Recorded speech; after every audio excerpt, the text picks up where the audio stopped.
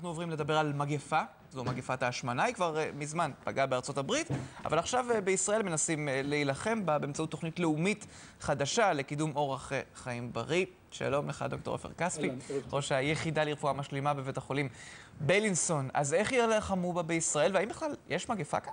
אחד מכל ארבעה ילדים, אחד מכל שלושה מבוגרים, לא צריך לומר יותר מזה. השמנה מקצרת חיים, אנשים שמנים חיים פחות, חולים יותר. השמנה היא המגפה של המאה הזאת, היא המגפה של חברת השובע וחברת השפע, ואין פה יציאה כנגד אה, אה, שפע או שובע, יש פה יציאה כנגד אורחות חיים לא בריאים.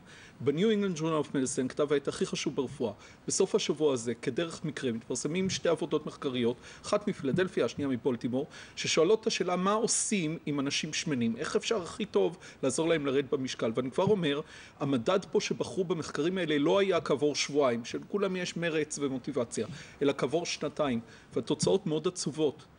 פחות מ-30% הצליחו לרדת 5% מהמשקל שלהם. סתם לשם, לתת לשם דוגמה, אה, מדובר בחמישה קילו, שישה קילו, מספרים כאלה. וההתערבויות המאוד יעילות הן התערבויות שיש בהן גם הסבר וגם נדנוד וגם ניג'וס וגם role modeling וגם ללמד אותם וגם, ובכל זאת אנשים לא מספיקים, לא מצליחים לרדת בצורה יעילה במשקל. לכן הפתרון הוא מניעה. באה ממשלת ישראל בוועדה בין משרדית, משרד הבריאות, משרד החינוך ומשרד החקלאות, פיתוח הכפר, ואומרת בואו בוא נביא לציבור את הבשורה, בואו נחנך את הציבור למנוע השמנה. אלא שאליה וקוץ בה. הממשלה שלנו, מה מבקשת? מבקשת ממכון וולקני וממפתחים אחרים לפתח ירקות יותר בריאים, שיש בהם תכולת ויטמינים ומינרלים יותר בריאה, ואני אומר להם, חבר'ה, איפה ההיגיון? אתם רוצים שאנשים יאכלו יותר בריא.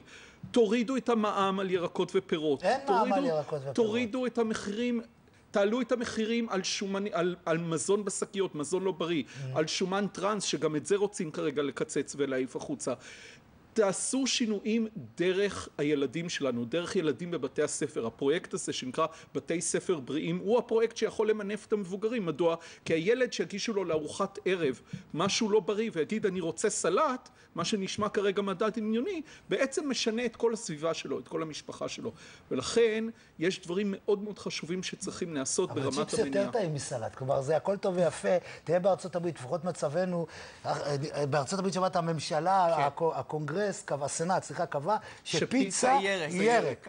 פיצה. נו, אז אה, נכון, אז זה מגיע לאבסורדים האלה, וכמובן... צ'יפס זה ירק, זה תפוח נכון, אדמה. אבל אפשר. לאפות את הצ'יפס בתנור עם שמן זית ולא לטגן אותו, כן, נכון? ואתה זה שף אהרוני, אני רואה, נהיית. משתדל. תראו שוב, אני חושב שמה שאנחנו באים להגיד פה בפינה לציבור, זה שכמובן שהתוכנית של הממשלה היא תוכנית נכונה ובכיוון הנכון, אלא שיש פעולות שהן הרבה יותר מיידיות והרבה יותר חשובות כדי למנף את הדבר הזה בדיוק, בלי לקחת מאנשים, פשוט לגרום לזה שהסביבה תהיה סביבה יותר בריאה.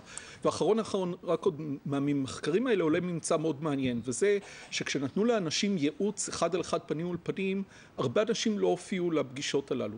לעומת זאת, כשהשתמשו באינטרנט או בטכנולוגיה של אה, אה, טלפונים ניידים, כן. אנשים נצמדו יותר להוראות. וזה קצת מפתיע. הפרשנות לדבר הזה היא שכשהאדם יכול לעשות את זה בזמן החופשי שלו, בנקודות השבר שלו, ולא באיזה נקודות שרירותיות, בעצם היעילות של ההתערבות יותר גדולה, וזה כבר המחקר השני שמראה את זה בשנה האחרונה, אותו דבר היה בגמילה מעישון. כך שהמסר בשינוי ההתנהגותי לציבור, למנוע השמנה ולא להוריד במשקל, כי אחר כך יהיה קשה מאוד, ולהיעזר בטכנולוגיות עופר כספי, דוקטור עופר כספי, תודה רבה לך.